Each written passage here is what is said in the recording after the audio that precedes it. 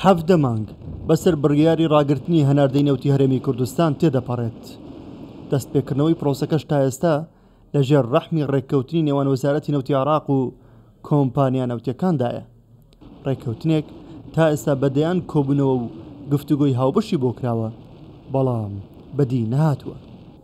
پەرلەمانتارێکی عێراق باس لە سەرەتای دروستبوونی.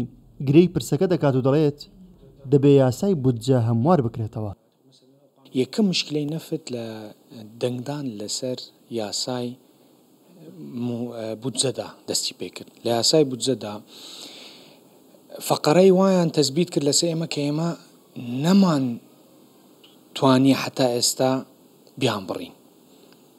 مشکلەکە لێرە بەس ئەوە نییە بێین بڵێین وەڵا شەریکەکان لەو بڕە پارەی کە دانرایە بۆ دەرهێنانی نەفت و بۆ خەرجەکانیان ناڕازین. مەشاکلی تریش هەیە.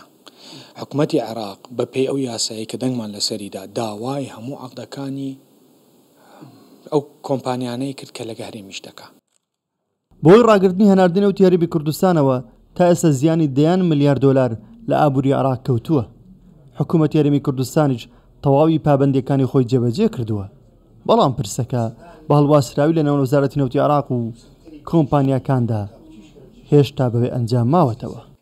ئەگەر حساب بکەین کمترین ڕێژەی هەناردەکردن چوار سەد هەزار بەرمیل لەسەر حەفتا دۆلار ڕۆژانە دەکاتە بیست و هەشت ملیۆن دۆلار، واتە زیانی نەناردنی نەفت ڕۆژانە بیست و هەشت ملیۆن دۆلارە، مانگانە هەشت سەد و چل ملیۆن دۆلارە، ساڵانە پتر لە دە ملیار دۆلارە.